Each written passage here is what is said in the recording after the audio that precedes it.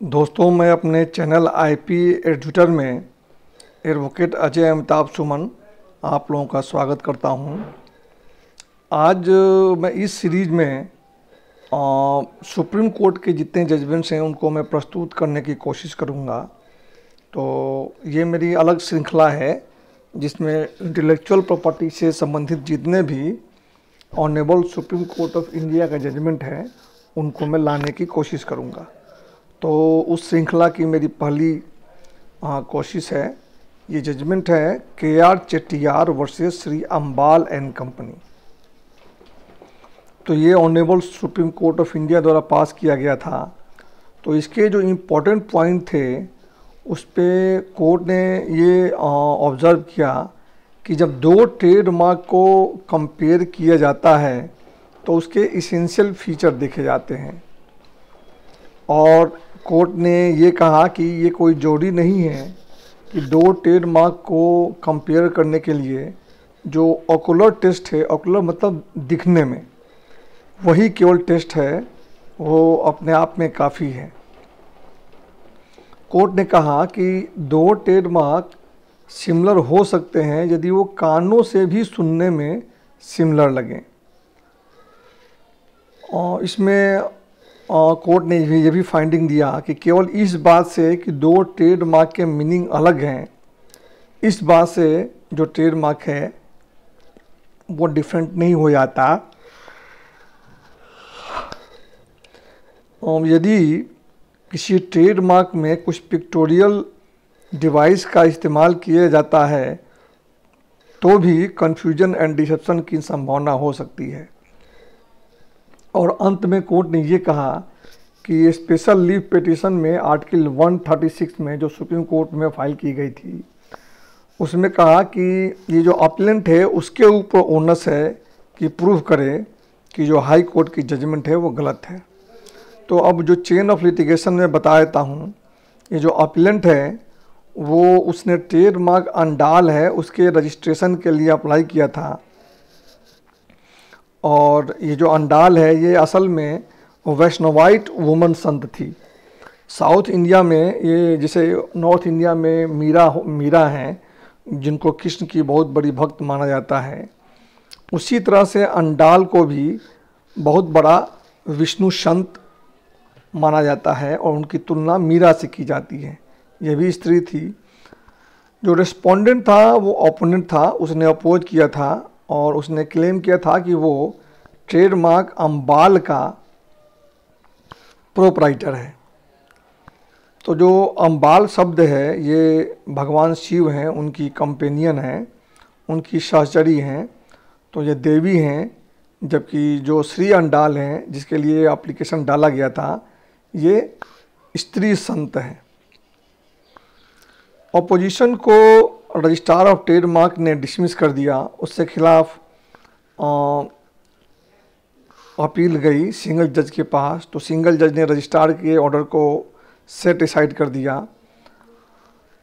तो सिंगल जज के ऑर्डर के खिलाफ डिवीज़न बेंच में अपील गई और डिवीज़न बेंच ने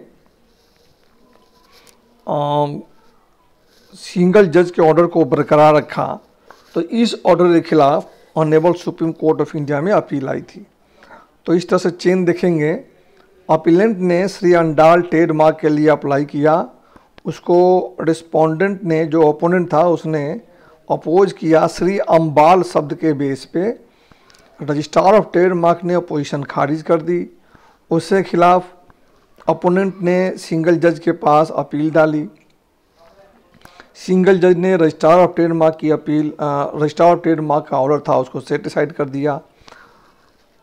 और उसके खिलाफ जो अप्लीकेंट था, उसने डिवीज़न बेंच में अपील की तो डिवीज़न बेंच ने अपील को डिसमिस कर दिया। उसी के खिलाफ ये जो अप्लिक अपीलेंट है, वो इनफैक्ट अप्लीकेंट है। उसने सुप्रीम कोर्ट में ये अपील डाली। तो ये पार्टी का नाम है के आर चिन्ना कृष्णा चेट्टियार और जो रिस्पोंडेंट हैं, जो कि ओपोनेंट था, इसका नाम है Shri Ambal and company judgment आई थी 14 अप्रैल 1969 को। इसको यद्यपि ये बहुत पुरानी जजमेंट है, फिर भी इसको बहुत ज़्यादा इस्तेमाल किया जाता है। इसमें ऑनेबल जज, तीन जज थे। Bachawat, then, Sikri honourable justice, then, Sikri S M, then Ramaswami भी।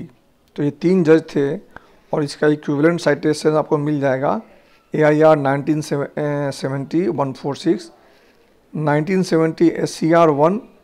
Nine zero and one nine six nine S C C volume two page one three one तो ये इसके इक्विवेलेंट साइटेशंस हैं।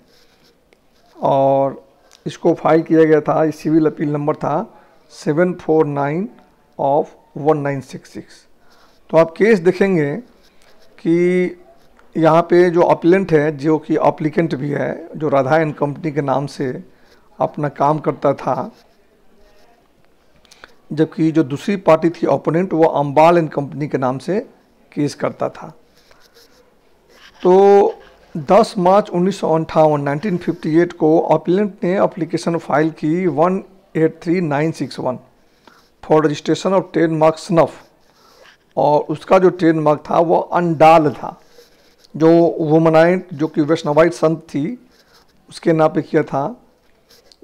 तो दूसरी ओर, जो दूसरी पार्टी है ओपोनेंट इसने कहा था कि वो रजिस्टर्ड प्रोप्राइटर है ट्रेडमार्क अम्बाल का, Shri Ambal under number one two six eight zero eight and one four six two nine one अब, ये जो ट्रेडमार्क था अम्बाल श्री अम्बाल ये इनफैक्ट कंपोजिट ट्रेडमार्क था और इसमें एक डिवाइस भी थी। The centre panel contents of picture of goddess Shri Andal उसी तरह से जो अप्लीकेंट था, उसका भी, उसके भी ट्रेडमार्क में जो, उसका, जो आप देखेंगे, जो अप्लीकेंट है, उसका ट्रेडमार्क श्री अंडाल था। तो उसमें श्री अंडाल वुमन गॉडेस थी, उनका पिक्चर लगा हुआ था। और उसी तरीके से आप देखेंगे श्री अम्बाल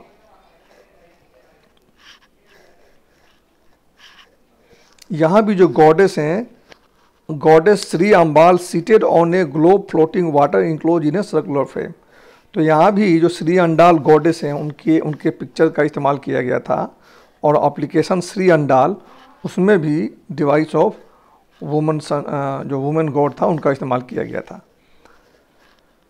जो श्री अंडाल है कोर्ट ने इसमें लिखा कि जो श्री अंडाल और श्री अम्बाल है, वो दो डिफरेंट देवियाँ हैं। जो श्री अंडाल हैं, ये वैष्णवाइट वुमेन सेंट हैं, जबकि जो श्री अम्बाल हैं वह शिव की कंसोर्ट हैं।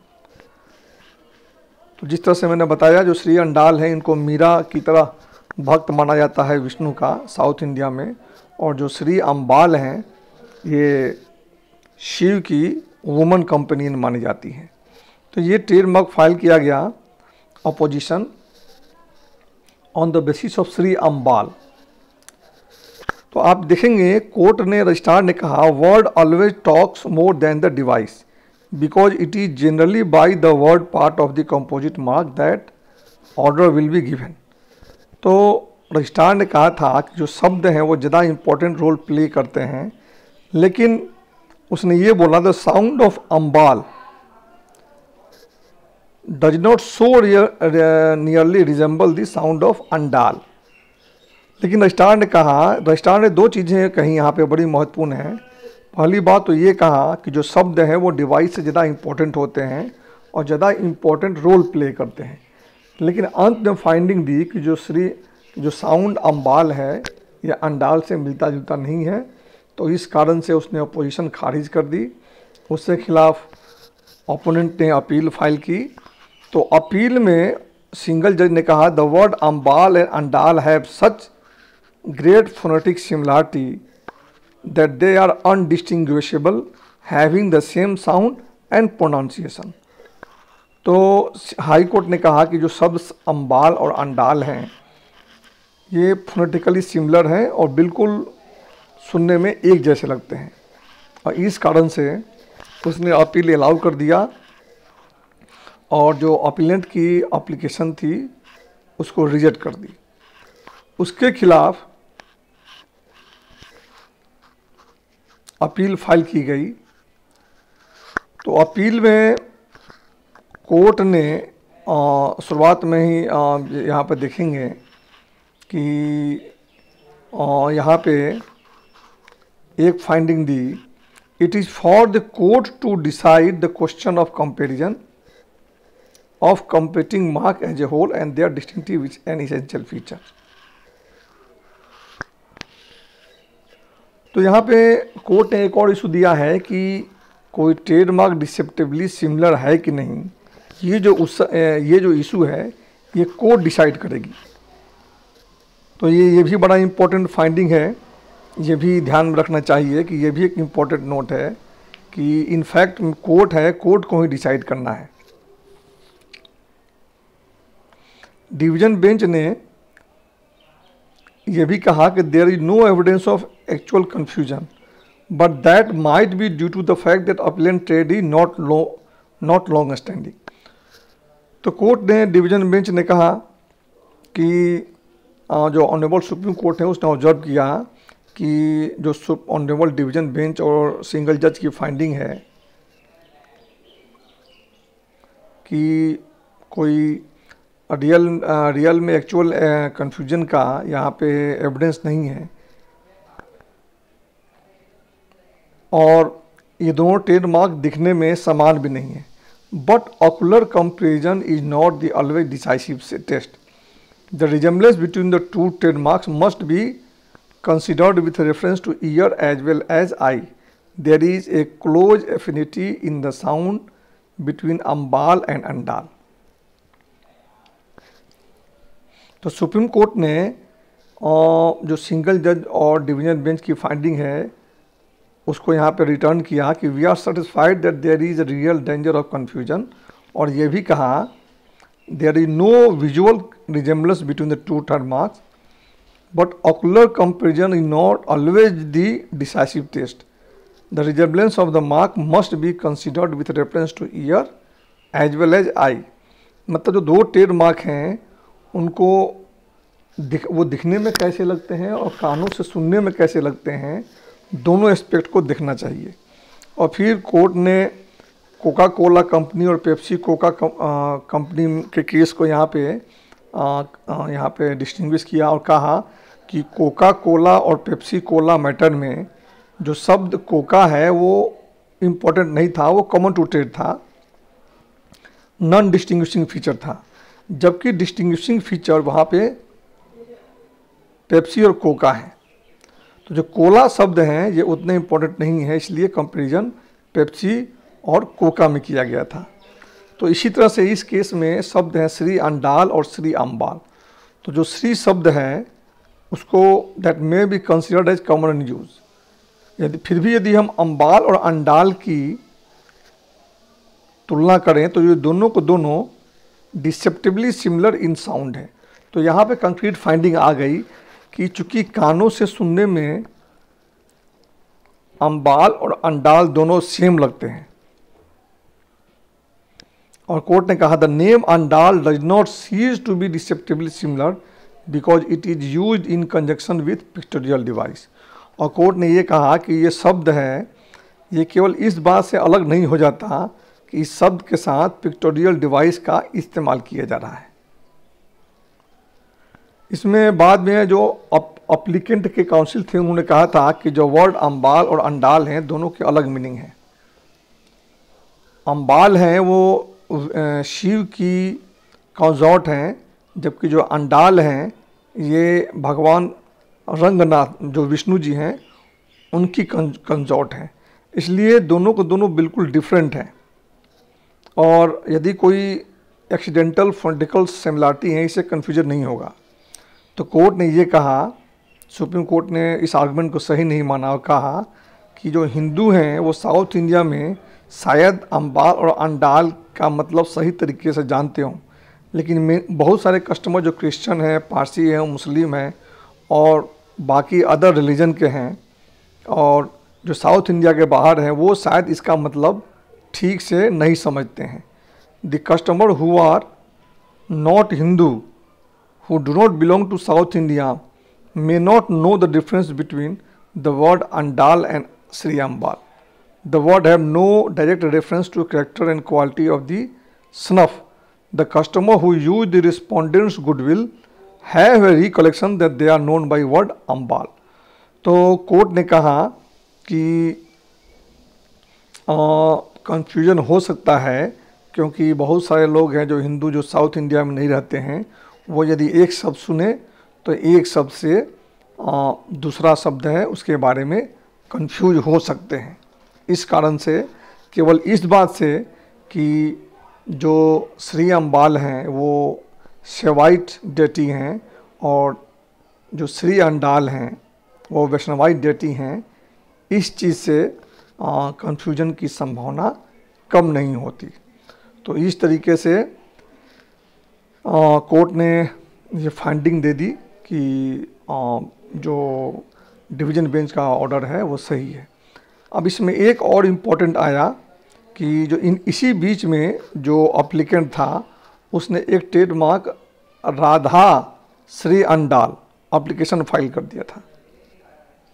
तो कोर्ट ने कहा it was argued that there was no phonetic similarity between Shri Ambal and Radha Shri Andal and use of expression Radha Shri Andal was not likely to lead to confusion the division the division bench found force in argument but as the matter is sub judice we express no opinion on it तो इसमें एक issue यह भी आया था, जिसको honourable supreme court India ने केवल ये ऑब्ज़र्व किया था कि ऑनरेबल डिवीज़न बेंच ने ये माना था इस आर्गुमेंट में फोर्स को माना था कि जो अप्लीकेंट का दूसरा ट्रेडमार्क है राधा श्री अंडाल वो ओपोनेंट का ट्रेडमार्क श्री अम्बाल से आ, उतना मिलता जुलता नहीं है। तो ऑनरेबल सुप्रीम कोर्ट ने ऑफ़ इंडिया ने ये केवल ऑब्ज़र्व किया लेकिन कोई फाइंडिंग दी नहीं। तो इस तरीके से यहाँ पे जो इशू था, श्री अम्बाल और श्री अंडाल का था। हालाँकि अप्लीकेंट ने राधा श्री अंडाल भी अप्लाई कर दिया था तो वो इशू इस कोर्ट ने डिसाइड नहीं किया। यहाँ पे केवल श्री अम्बाल और Shri Andal with pictorial device of women suns और डेटीज़ यूज़ किए गए थे। तो कोर्ट ने कहा कि यदि, यद्यपि दोनों का मतलब अलग होते हैं, यद्यपि दोनों ट्रेडमार्क में अलग अलग पिक्टोरियल डिवाइस का इस्तेमाल हुआ था फिर भी दोनों का ट्रेडमार्क हैं वो अलग हैं। आ, वो सॉरी वो बिल्कुल मिलते जुलते हैं क्योंकि दिखने में ट्रेडमार्क अलग हो सकते हैं लेकिन सुनने में ये ट्रेडमार्क सेम है। तो इस तरीके से ऑनरेबल सुप्रीम कोर्ट ने यह फाइंडिंग दी ये फाइंडिंग दी और एक और भी इम्पोर्टेंट फाइंडिंग दी थी। कोर्ट ने कहा था कि ट्रेडमार्क सिमिलर है कि नहीं इस बात को कोर्ट डिसाइड करेगी। ये अधिकार कोर्ट को डिसाइड करने का था। तो ये सारी चीज़ें थी। आप देखेंगे it is for the court to decide the question on a comparison of the competing mark at a whole and they are distinctive and essential feature तो किस ट्रेडमार्क में क्या डिस्टिंक्टिव एंड इसेंशियल फीचर है, ये court को निर्धारित करना होता है। तो ये सारे इशू हैं जो अब तक चले आ रहे हैं और honourable Supreme Court of India ने जितने सारे रेशियो लेट डाउन किए 1969 में वो आ, आज तक लैंडमार्क हैं और फॉलो किए जा रहे हैं। तो जो भी आईपीआर में इंटरेस्टेड है मेरे हिसाब से उसको ये जजमेंट जानना चाहिए। और इसीलिए मैंने ये श्रृंखला की शुरुआत की है इस जजमेंट के साथ। आगे भी सुप्रीम कोर्ट की जजमेंट लाता रहूँगा। आप लोगों ने सुना इसके लिए आप लोगों का धन्यवाद।